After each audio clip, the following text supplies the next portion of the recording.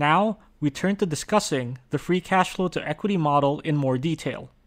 The first DCF approach you will learn is the free cash flow to equity or FCFE model.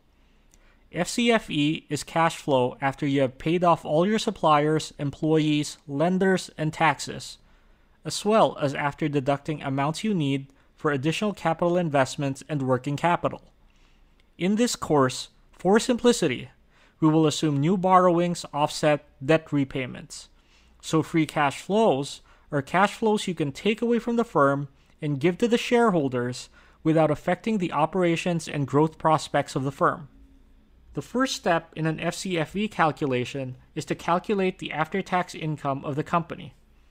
We first start with the firm's revenues or sales and subtract the cost of goods sold. The difference is called the gross profit. We then subtract operating expenses from the gross profit to arrive at operating income.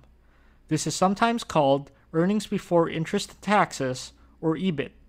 Then we subtract interest from EBIT to get to pre tax income. Then we subtract taxes from pre tax income to get to after tax income. After tax income is calculated using accrual accounting. This means that there were some components of after tax income that are non cash items. A common non cash item is depreciation and amortization.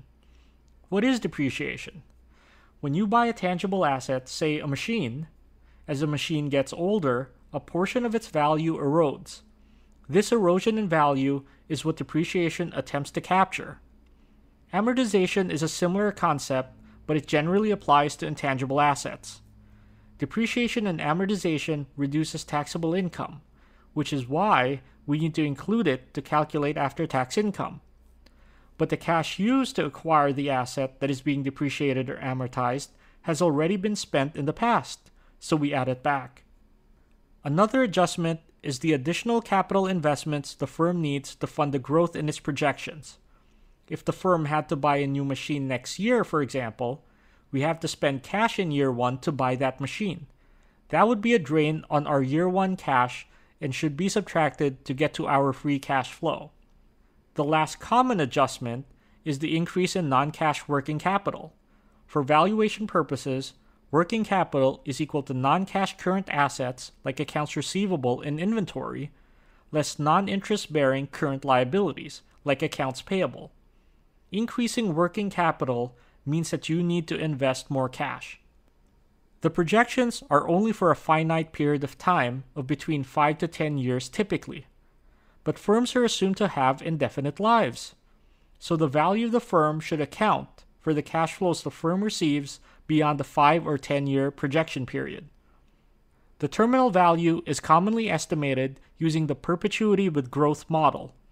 The model takes the FCFE the year after the end of the forecast period and divides it by the difference between the cost of equity and the PGR. This mathematical trick accounts for all cash flows into perpetuity growing at a constant rate. Let's go through an example of coding this in R. Suppose you have the FCFE in the fifth year of the forecast period as $100. Also assume that the PGR is 3% and cost of equity is 15%. Then, in R, we need to first grow the year 5 FCFE by the PGR for one year. Then, divide it by the difference of the cost of equity and perpetuity growth rate to get to $858. Let's